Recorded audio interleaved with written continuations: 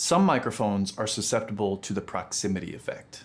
That means the low frequency response will be boosted as the microphone gets closer to the sound source.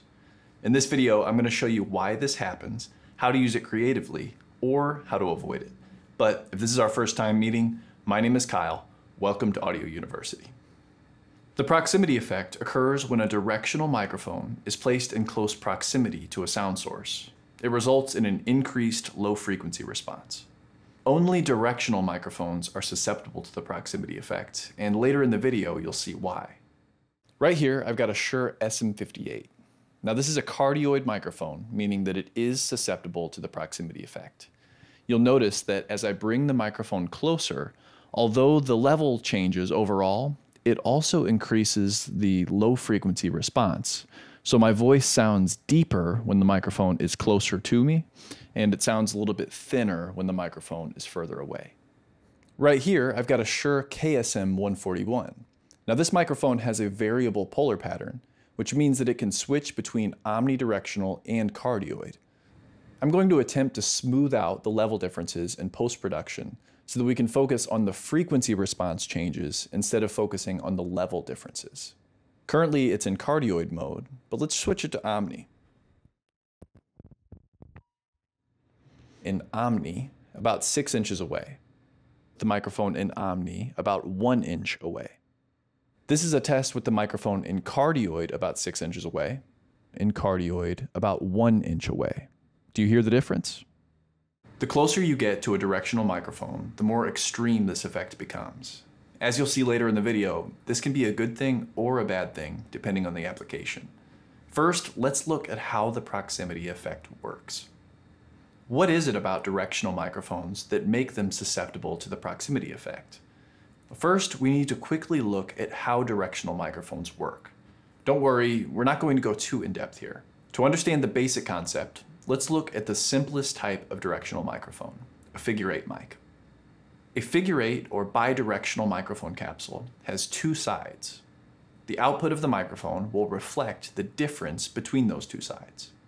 If there's positive pressure at the front of the capsule, it will result in a positive voltage. If there's positive pressure at the rear of the capsule, it will result in a negative voltage. However, if sound approaches the capsule from the side, the equal pressure on each side will cancel out and no voltage will be created. In reality, a sound approaching the front of the capsule will also reach the rear of the capsule at a slight delay.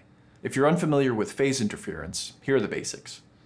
If two identical sound waves interact, they'll sum together.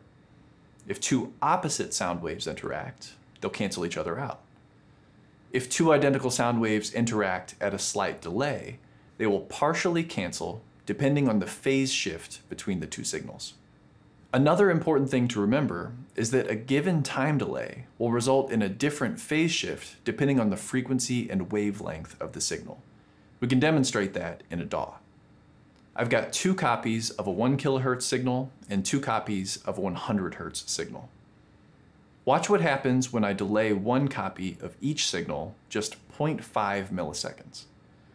The 1 kilohertz signal is completely out of phase with the first copy. Meanwhile, the 100 hertz signals are still mostly in phase with one another. So, the same time delay leads to a more drastic phase shift at higher frequencies than it does at lower frequencies. You may be asking, why is this important? Well, let's imagine these two signals approaching the front of a bidirectional microphone. For the sake of this demonstration, let's say it takes sound 0.5 milliseconds longer to reach the rear of the capsule than it does to reach the front of the capsule. The 1 kilohertz wave will create positive pressure when it reaches the front of the capsule and will be 180 degrees out of phase when it reaches the rear of the capsule and this will result in summation. Remember, the mic outputs the difference between the two sides. The 100 Hz wave will create a positive pressure on both sides of the capsule because the phase shift is less extreme. This will result in a significant cancellation. This means that directional microphones tend to capture low frequencies less efficiently than high frequencies at a normal distance. And most microphones are designed to compensate for this phenomenon so that low frequencies and high frequencies are captured more evenly. There's just one small problem with compensating for the natural frequency imbalance. The amount of damping needed changes depending on the distance between the sound source and the microphone. The inverse distance law states that every doubling of distance away from the sound source results in a 6 dB loss in level. At a normal distance from the microphone, the level of a sound between the front and the rear of the microphone capsule is roughly the same. However, from right in front of the microphone, the distance from the sound source to the front of the capsule might be close to half the distance of the sound source to the rear of the capsule, which would result in a 6 dB difference between the front and the rear. Let's go back to the example from earlier to tie these principles together. At a normal distance from the microphone, sound waves will wrap around the capsule, resulting in some cancellation. The cancellation of higher frequencies is less drastic because there's a greater phase shift at higher frequencies. The extra distance traveled is so small in comparison to the total distance that the level difference between the front and rear is very small.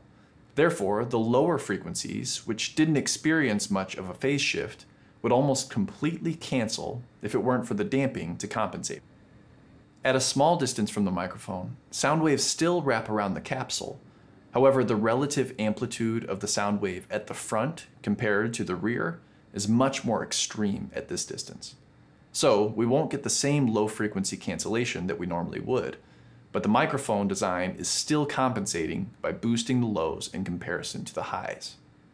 This will result in a boosted low frequency response at short distances, the proximity effect in action. So is the proximity effect a good thing or a bad thing? Like many things in audio, it depends on the situation. Radio DJs and voiceover artists have used the proximity effect to their advantage for decades.